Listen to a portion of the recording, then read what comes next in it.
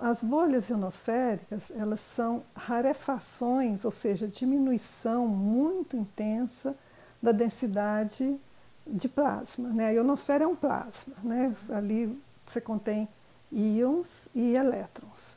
Esse plasma, sob determinadas condições, né, ele sofre ali uma, uma, sob determinadas condições que na verdade é uma irregularidade do meio, vai provocar o, o aparecimento de uma pequena né, é, irregularidade ali que vai crescendo dependendo das condições. Isso normalmente ocorre após o pôr do sol. Essa densidade muito baixa de plasma, muito mais baixa do que o plasma ambiente, né, que se cresce, ela se torna uma estrutura enorme.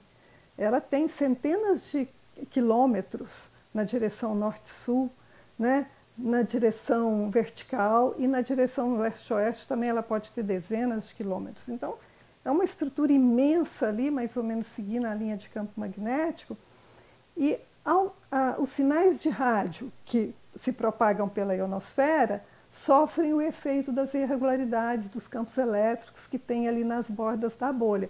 Por isso é que elas interferem tanto né, no, nos sinais que atravessam, inclusive nos, é, provocam assim uma deturpação grande do sinal de GPS, porque o GPS é um satélite que está lá em 36 mil quilômetros de altura, transmite um sinal que é recebido aqui na, na, superfície da Terra pelos vários receptores, pelo celular, por um monte de coisa. Né? Os estudos assim, da climatologia das bolhas, isso a gente já conhece, a gente sabe que ela ocorre aqui, mais em alta atividade do que em baixa. No nosso caso aqui do Brasil, ela tem a preferência de ocorrência de setembro até março, então setembro, outubro, novembro, dezembro, janeiro, fevereiro e março, você tem muita bolha. Fora disso, você tem pouca bolha.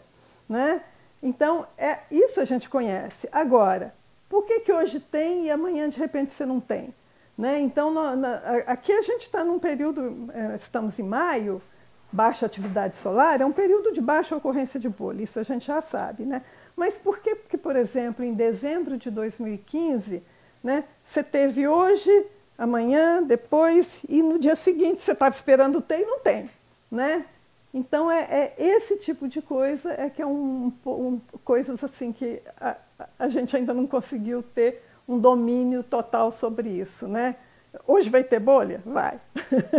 o, o, fenômeno bolha ionosférica, em termos assim da ciência, de uma forma geral, é, é uma coisa extremamente nova né? porque a, a, a ionosfera ela é conhecida, uh, na verdade, os primeiros experimentos com ionosfera foram, foram feitos lá por Marconi, mas ele não sabia que era uma ionosfera. Né? Ele fez a transmissão de longa distância, algo, uh, transmitiu uma onda aqui que se recebeu lá em outro continente, mas ele não sabia que era a ionosfera.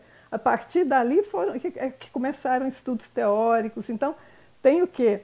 É, os, os, experimentos dele foi na 1800 e pouco, né? Então tem mais de 200 anos, mas as bolhas são recentes. Só na década do século passado, de 1980, né, é que é, é muito recente. Né? E um dos, dos primeiros trabalhos que detectaram as bolhas ionosféricas foram feitos aqui no INPE.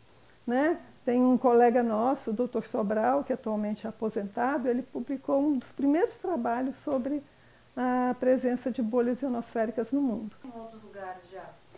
Ah, no Brasil ah, tem outros grupos sendo formados, né? É, tem um grupo em Campina Grande, né, que são vários pesquisadores lá que foram oriundos daqui, fizeram doutorado, eles, alguns já eram professores lá, vieram, fizeram doutorado e voltaram outros terminaram o doutorado aqui foram contratados. Né? Então, tem grupos menores, tem um grupo na Univap, né, que é liderado também por um pesquisador que foi oriundo aqui do INPE.